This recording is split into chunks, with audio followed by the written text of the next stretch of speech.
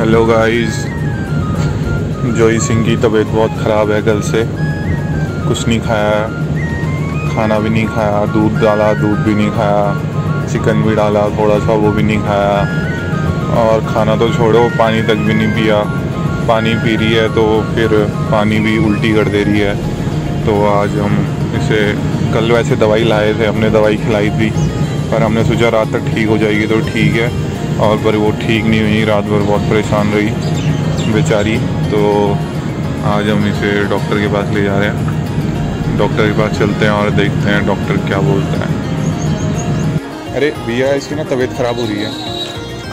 उधर नहीं आना। हाँ?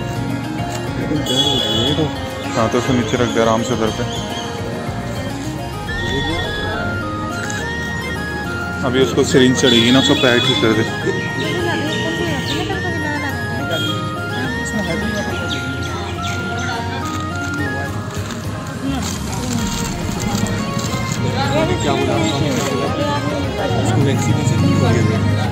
वैक्सीन उन्होंने बोला कि इसको वायरल डायरिया हो सकता है और एक कोई पार्को वायरस चल रहा है इन कुत्तों का ना कि वो भी हो सकता है। और ये बाहर भी जो कुत्ते हैं इनको भी वही हो रहा है हो जाता है यार जानवरों को। क्या पता ड्रिप लग जाएगी तो ठीक हो जाएगी फिर थोड़ा। जोई सिंह जोई सिंह ने बिल्कुल ही शरीर तोड़ दिया, बिल्कुल छोड़ दिया।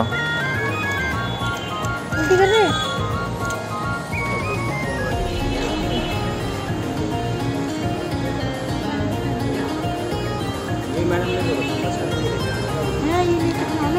मिनट से चला। डाला हुआ है पहले तो देखो सुई भी लग गई फिर भी छू तक नहीं करा उसने।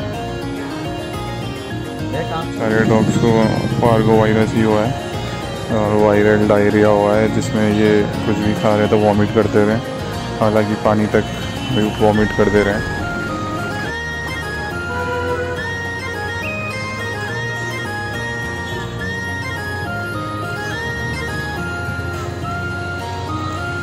ये पार्वो वायरस हुआ है इस पपी को भी, और ये आज इसका तीसरा दिन है। तीसरा दिन तीसरा दिन हो गया है, और अभी तक इसको ड्रिप चढ़ रही है, और इसने तीन दिन से ना कुछ खाया है और ना कुछ पिया है, और वॉमिटिंग भी, वॉमिटिंग कर रहा है, और उसको भी पार्वो वायरस हुआ है।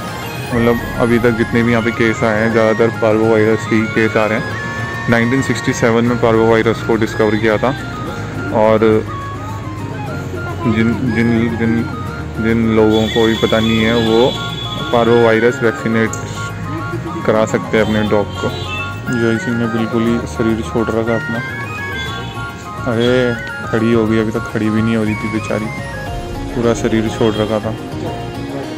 अबे, यहाँ पे रख के उसको, यहाँ छाया में।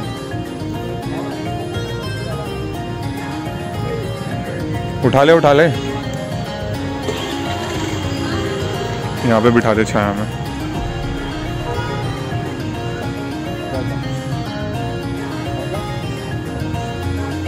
रहने दे, खुद बैठती हो। जोई सिंह को हम घर ला गए। बेचारी डॉक्टर ने बोला है कि चार पाँच दिन तक इसको ड्रिप ही चलेगी। हम लोग चार पाँच दिन तक नो फ़ूड नो वाटर आप लोग प्लीज़ जोई के लिए प्रेयर करना ताकि जोई जल्दी ठीक हो जाए। जोई सिंह, ये लोग आपको जो देख रहे हैं ना आपके लिए प्रेयर करेंगे, ठीक है? आप जल्दी ठीक हो जाओगे, ठीक है?